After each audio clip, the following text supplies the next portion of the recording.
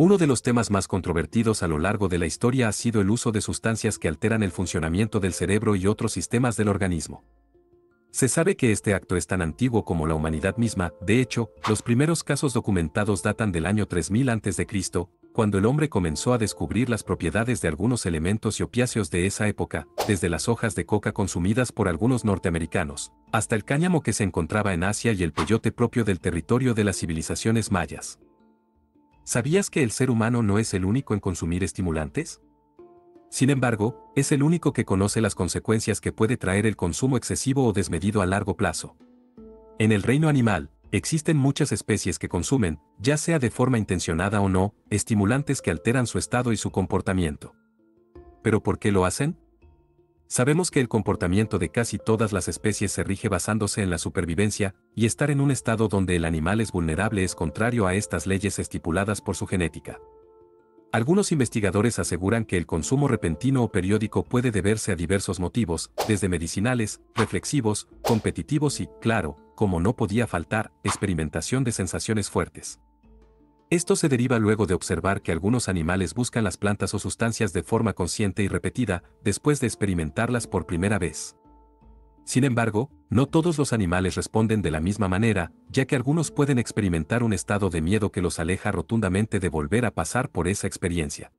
Un claro ejemplo lo tenemos con los gatos y la népeta cataría, más conocida como hierba gatuna. Esta hierba natural, originaria de Europa, provoca un comportamiento juguetón en los gatos, llevándolos desde una conducta similar a cuando cazan, hasta rodar sobre sí mismos y emitir sonidos propios del estado de celo. Sin embargo, no todos los felinos reaccionan de la misma manera, y aproximadamente un tercio de ellos incluso pueden presentar rechazo. Esta variación en la respuesta de un gato a otro probablemente se deba a factores ambientales, genéticos y sexuales, ya que atrae principalmente a las hembras, pero también a los machos castrados. Un nuevo estudio publicado en la revista Science sugiere que tiene un efecto similar al de la morfina y la cocaína en las personas, afectando el sistema opioide de los gatos. Con respecto a esto último, seguramente te estás preguntando, ¿es perjudicial para un gato exponerse a esta planta? Bueno, la verdad es que puede ser beneficiosa para purificar el sistema digestivo y contiene nepetalactona, un terpeno que actúa como sustituto de las feromonas sexuales felinas, lo que podría explicar por qué las hembras son mayormente atraídas. Sin embargo, también es importante recordar que la exposición excesiva puede causar irritación en el animal, por lo que siempre se recomienda medir la dosis adecuadamente. Además, no causa dependencia ni adicción. Hasta ahora, no se conoce a ciencia cierta si su efecto impacta solo a los gatos, pero se ha observado que otros felinos como los leones pueden responder de manera similar. Sin embargo, no es la única planta que puede causar un efecto alucinógeno en los gatos. El tomillo de gato puede actuar como una especie de afrodisíaco natural, aumentando la potencia del macho y provocando un comportamiento juguetón en la hembra. Por otro lado, la planta matatabi puede sumir al gato en un estado de profunda relajación y contemplación estática aunque no es muy común entre los gatos, siendo los gatos japoneses los que parecen mostrar una mayor predilección. Como mencionamos, algunos animales lo hacen por motivos medicinales y competitivos. Por ejemplo, los mandriles utilizan una planta llamada iboga justo antes de un combate. Se sabe que esto puede ayudarles a aumentar su energía y desinhibir los mecanismos de dolor, todo esto para tener mayores oportunidades de salir victoriosos y evitar el dolor de los golpes y mordiscos. Por otro lado, están los búfalos. Si bien esto no ha sido observado de manera frecuente, se sabe que consumir plantas alucinógenas puede causar un estado de tranquilidad en estos imponentes animales. Cuando los estadounidenses bombardearon Vietnam en los años 60, los búfalos de agua se vieron obligados a abandonar sus áreas habituales en medio del conflicto. Para enfrentar esta situación y sobrevivir, tuvieron que consumir amapolas, que no son de su agrado en cuanto al sabor. A pesar de ello, lo hicieron porque estas flores segregan una serie de compuestos que al ser ingeridos pueden llegar a calmar a los animales en circunstancias traumatizantes como aquella.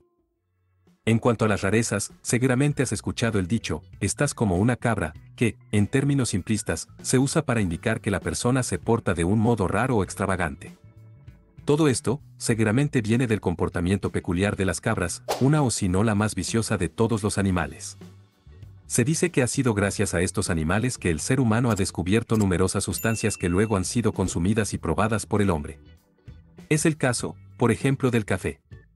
Varios cuentos populares explican cómo los humanos, tras observar el comportamiento extraño y frenético de las cabras que habían comido las bayas de café, se decidieron a probarlas.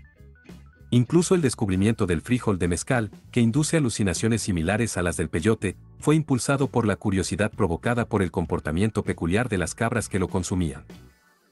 Otros animales optan por algo más ligero, el alcohol natural. Se conoce el apego y el gusto que animales como monos y elefantes tienen por el fruto de la marula, ya que los sumerge en un estado de embriaguez, llevándolos a tener comportamientos peculiares, a veces divertidos, y otras peligrosos para los habitantes de las regiones aledañas y otros animales. Además, se sabe que algunos elefantes consumen este fruto cuando están sometidos a situaciones de mucho estrés, lo que concuerda con el uso para alcanzar la calma y evitar situaciones traumáticas. Asimismo, al igual que las cabras, este comportamiento permitió que los habitantes y las personas descubrieran ese árbol, con el cual las poblaciones locales producen el vino de la sabana y otras bebidas. Si este video te pareció interesante, estoy seguro de que disfrutarás del siguiente titulado, Este animal es considerado un demonio, donde conocerás a una de las criaturas más sorprendentes y misteriosas de Madagascar, el fosa. No te lo pierdas.